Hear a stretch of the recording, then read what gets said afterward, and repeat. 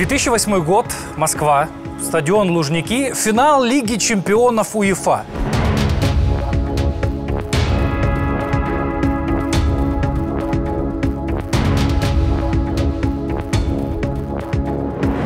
Я прекрасно помню тот матч между Манчестер Юнайтед и Челси, финальный промах Джона Терри, легенда лондонского клуба после матчевых пенальти и невероятную радость красных дьяволов из Манчестера.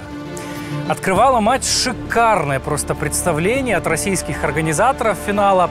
На трибунах Роман Абрамович, владелец лондонского Челси, и Андрей Луговой, убийца Александра Литвиненко, бывшего офицера Федеральной службы безопасности Российской Федерации. Деньги и смерть на празднике спорта. Типичная картина в России во все времена. Спустя годы, пересматривая и открытие финала, да и сам матч 2008 года, меня не покидала одна мысль. Московские организаторы буквально кричали и Европе, да и всему миру «Вот вам деньги, давайте нам влияние, давайте дружить». Спойлер. Дружба с Российской Федерацией несет лишь горе, разрушение, войну и смерть. В 2012 году «Газпром» стал спонсором номер один в европейском футболе. Госкомпания не просто спонсор, между строк всегда намекающая «Мы вам чемоданы с евро, вы нам влияние и возможность решать вопросы без проблем». На тот момент девиз «Газпрома» «Мечты сбываются» кроме УЕФА плотно засел в головах и чиновников ФИФА. В общем и целом, Россия на тот момент большая и неотъемлемая часть европейского футбола. По крайней мере, именно такой образ строили в Москве. Что же можно сказать о сегодняшней футбольной России? Сборная ищет хоть каких-то партнеров для матчей. Российские футболисты, клубы играют с псевдофутболистами из псевдореспублик, ну а «Газпром» дышит на ладан. Купить российского футболиста из российского клуба сейчас значит замораться. Ну что, рассказать, как все рухнуло? Развал Советского Союза ознаменовал раздел сфер влияния, оставшихся после империи. Экономика, энергетика, геополитика и, конечно же, спорт – все это разом под себя подмяла Российская Федерация, самоназванная единственная наследница СССР. Как Россия забрала футбольное наследие, которое осталось после Советского Союза? Наследие было огромное. И наследие в основном было не российское. Мы вспоминаем победы киевского «Динамо» в основном, победы тбилисского «Динамо» и э, выигрыши украинскими и грузинскими клубами вот этих самых европейских турниров, все это знают, и все прекрасно это понимают. Это очень сильно раздражало Москву.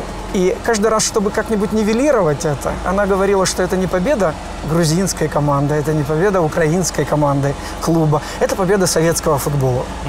В сборной э, СССР бывали моменты, когда играли исключительно игроки киевского «Динамо». Киевская «Динамо» того момента не просто базовая команда сборной СССР, а ее основа, ее философия во главе с тренером.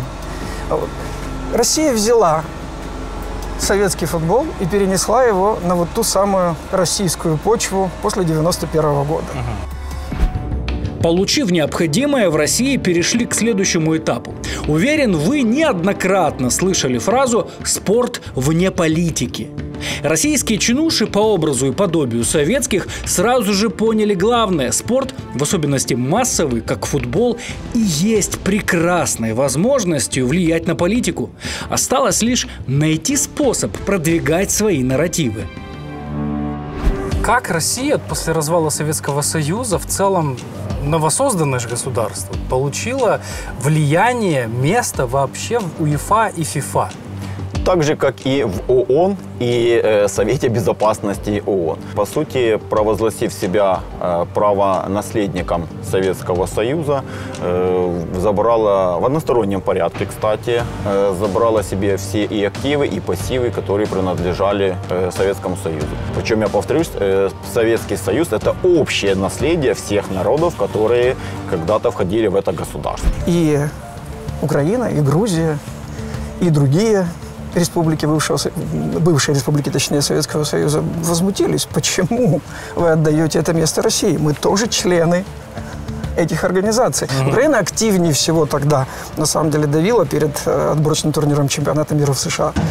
ни УЕФА и ФИФА бы так он просто отдали никаких отборочных турниров, ничего, это все осталось на каком-то уровне разговоров. Сборная России выиграла тогда отборочный mm турнир и поехала на чемпионат мира.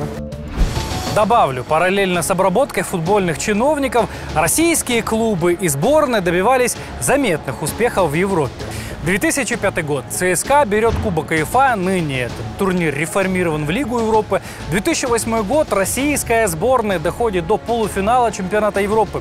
Роман Павлюченко, Андрей Аршавин, это нападающие сборной Российской Федерации по футболу, переходят в сильнейший чемпионат Европы, английскую премьер-лигу. На тот момент клубы из России достигают невиданных финансовых высот, получая возможность приглашать в местный чемпионат звезд мирового футбола. Чего только стоят переходы Самюэля Этуо и Роберто Карлоса в Махачкалинские Анжи.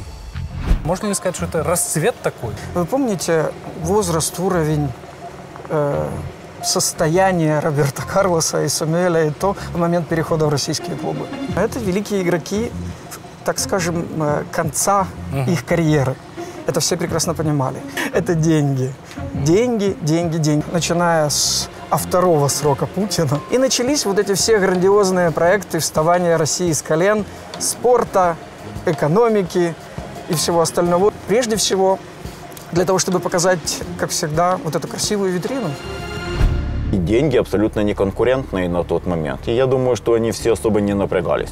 То есть мы понимаем, что э, тот уровень требований, которые предъявляют к игроку в Испании, в Италии, во Франции, в Германии, отличается от э, тех требований, которые в Махачкале предъявлялись. Если мы говорим о звездах мирового масштаба, это просто такой своеобразный пансион. Потому что на пенсию можно заработать не напрягаясь. В то же время такие же шальные деньги, по сути, в, везде в России были. Везде. Ну, то есть просто залили эту сферу деньгами.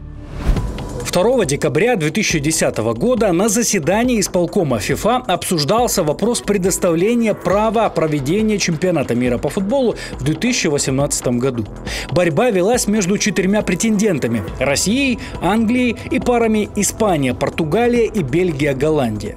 В итоге право провести Мундиаль отдали России. От лица государства, которое на тот момент уже развязало войну против Грузии, с докладом выступал тогдашний глава Российского футбольного союза, министр спорта РФ Виталий Мутко. Let me speak from my heart.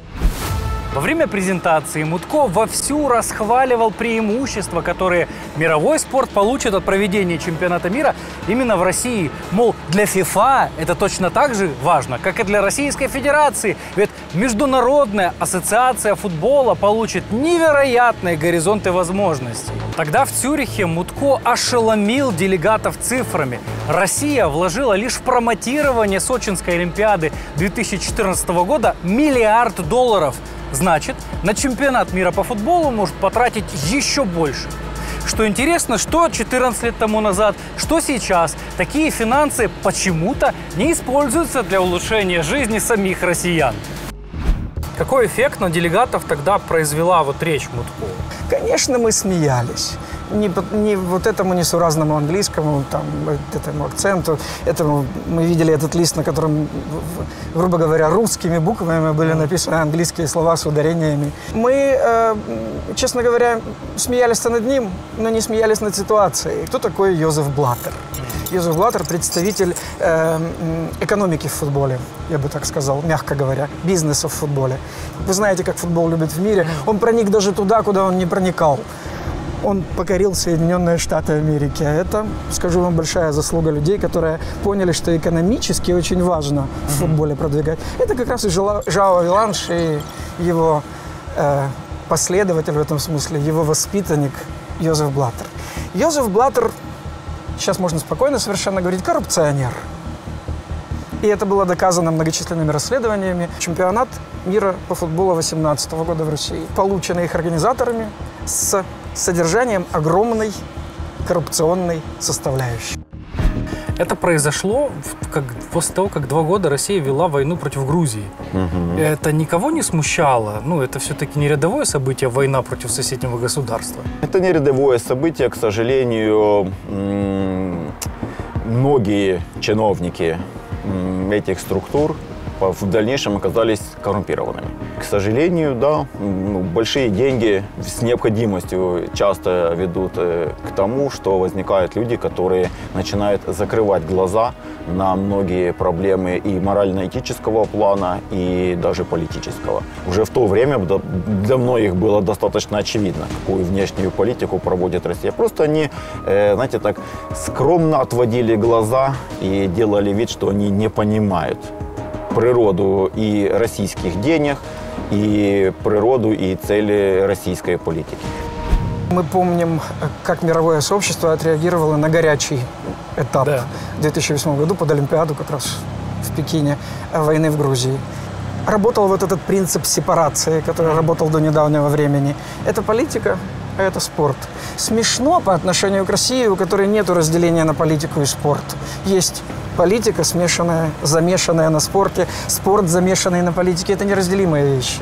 От финансирования до идеологической составляющей всего этого. Это невозможно разделять.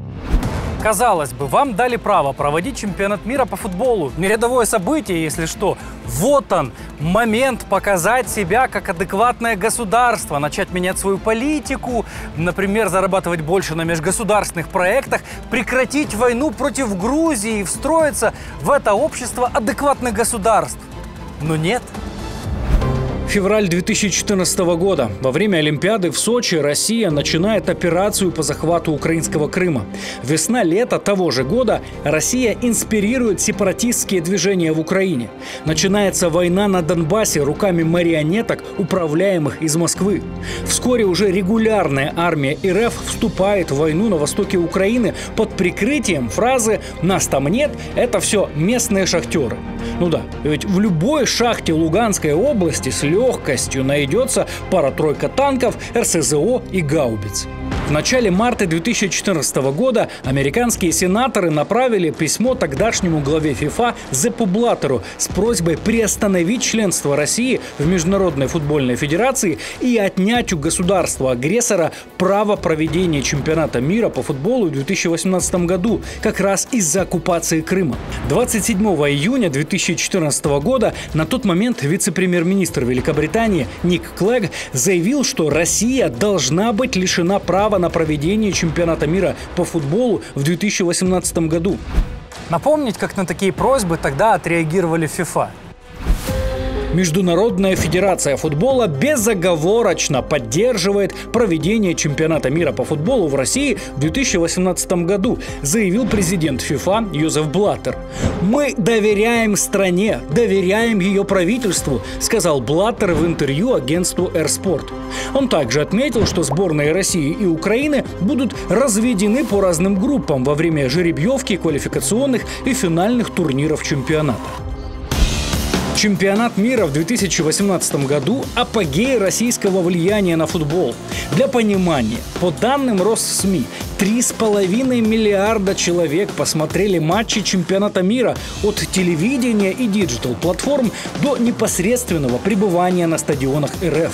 Туристы, реклама, новый виток интереса к России, теперь уже хозяйки Мундиаля. И это в то время, когда ФСБ задерживала крымских татар по надуманным обвинениям, когда российские войска уничтожали Донбасс, гнали местное население оккупированных территорий на убой. Как отреагировали делегации команд, которые пробились на Мундиаль? Кто-то не приезжал, кто-то приезжал, кто-то поддерживал чемпионат мира в России. Это чемпионат мира. Для футболистов, которые, когда им нужно, и футбольных функционеров особенно, когда им нужно четко объяснить, что они делают и почему они делают, они говорят, это футбол, это соревнование, это чемпионат мира. Это было бы катастрофой, если бы его нужно было перенести или отменить. Слишком большая махина, слишком большие деньги, безусловно. Это слишком сложно организовать. 2018 год чемпионат мира все-таки прошел, Э, команды приехали, французы выиграли. Какие преимущества для России, опять-таки в этом политическом плане, э, принесло проведение чемпионата мира по футболу? на внутриполитической арене, безусловно, принесло и грандиозные. В России футбол – спорт номер один. И, соответственно, когда для ну, миллионной армии российских болельщиков российская власть предоставила возможность насладиться этим зрелищем, то, естественно, это не могло не вызвать какую-то экзальтацию со стороны этих э, миллионов россиян. Что касается ну, международной какой-то реакции, ну, опять же, как бы в масштабах вселенной это ординарное событие. Понятно, для футбола это э, не так часто происходит, там, раз в 4 года. Поэтому я бы не преувеличивал как бы значение. Ну и, и, и наверное, бы все-таки и не совсем бы его э, нивелировал. Потому что в то же время достаточно много европейских и со всего мира болельщиков посетили Российскую Федерацию. И у них могло сложиться достаточно искривленное представление Начав полномасштабную войну против Украины, в Кремле надеялись, что мир отреагирует точно так же. Какие-то санкции, минимум ограничений, ну пару лет такой-сякой изоляции, а потом снова проведение чемпионата мира отдадут Москве. По данным дашборда Костеллум, Россия – наиболее санкционированная страна в мире. Более 20 тысяч ограничений ввели союзники Украины по всему миру. Футбольное сообщество, что важно для нашей истории, также не осталось в стороне. Реакция УЕФА, прежде всего, в первые же дни вторжения была для меня удивительной, показательной и очень приятной. УЕФА отреагировала резко – Сначала было принято решение о том, чтобы ограничить ну, предварительное решение. Все-таки это махина бюрократическая, это понятно. УЕФА бюрократизированная организация. И на, на следующем этапе меня шокировало, как быстро это было сделано. Было принято основное решение о том, что российские команды на всех уровнях, в принципе, Российский футбольный союз не принимает участие до, так и было сказано, до окончания агрессивной войны Российский футбольный союз больше не принимает участие в жизни и деятельности, в соревнованиях под абсолютно разными эгидами на, на всех уровнях, женские, юношеские, национальные. ФИФА точно так же. Полномасштабная война, у ЕФА все равно и ФИФА дали какой-то да, ответ Российской Федерации на ее агрессивные действия. А самый главный, наверное, ответ – это «Газпром», все-таки. Угу. Как сейчас вот обстоит, как вот закончилось это сотрудничество, я так понимаю, «Газпрома» и в целом мирового футбола? Ну, там «Газпром» э, в прошлом году впервые показал рекордные убытки – ну и мы понимаем, почему это происходит. И было бы очень странно, если в результате тех санкций, которые вводятся против э, России, в частности, и против э, энергетических компаний, было бы очень странно, если бы российская энергетическая компания в то время, когда Европа пытается отказаться полностью от российского газа, но и в то же время компания, которая является основным оператором, кстати, э, собственником многих газовых систем, в некоторых европейских государствах продолжала бы э, быть титульным спонсором ну, а основных из э, ну, международных э, турниров общеевропейских. Я понимаю, что большинство людей, может быть, даже это и не заметили, то есть даже бы и не задумали. Что же представляет собой российский футбол сейчас, в 2024 году? Местные клубы борются и продолжают бороться как в местном чемпионате, так и в Кубке, но уже без амбиций попадания в Еврокубки, в Лигу чемпионов, Лигу Европы, Лигу конференций. Для понимания, для команды не из топ-лиг игра в Еврокубках – это прекрасная возможность показать себя, показать своих игроков, впоследствии больше заработать но для России теперь эти двери закрыты. Теперь местные клубы соревнуются с футболистами из непризнанных ЛДНР, Южной Осетии, Абхазии и оккупированного Крыма. Для кого и для чего это все делается? Для, опять же, внутреннего потребителя – Нужно же имитацию, что э, вернулась нормальная жизнь куда-то, да, что вроде бы как бы ничего и не изменилось. Но что солнце как э, всходило, так и восходит. Понятно, что как бы футбольные болельщики понимают э, разницу да, между участием сборной Украины в чемпионате там, Европы и участием или суперигрой сборной России с Эритреей. Это же прекрасно понимают и сами футболисты. То есть, как бы это получается так, что их лучшие футбольные годы э, из-за прихоти каких-то неадекватов, по сути, принесены в жертву. Мне кажется, что этот процесс является необратимым. И желание России просто перетерпеть, переждать и вроде бы как бы вернуться, я думаю, оно безуспешно. Подведем итоги. Российский футбол от, ну, условно конкурентноспособного теперь стал ближе к маргинальному. Влияние на чиновников УЕФА и ФИФА сейчас превратилось в тыкву. Российских футболистов с двуглавым орлом на эмблеме мы не увидим ни на ближайшем чемпионате Европы, ни на чемпионатах мира. Эти же российские футболисты с профи стали никем. Россия буквально за несколько лет превратилась в футбольное ничтожество.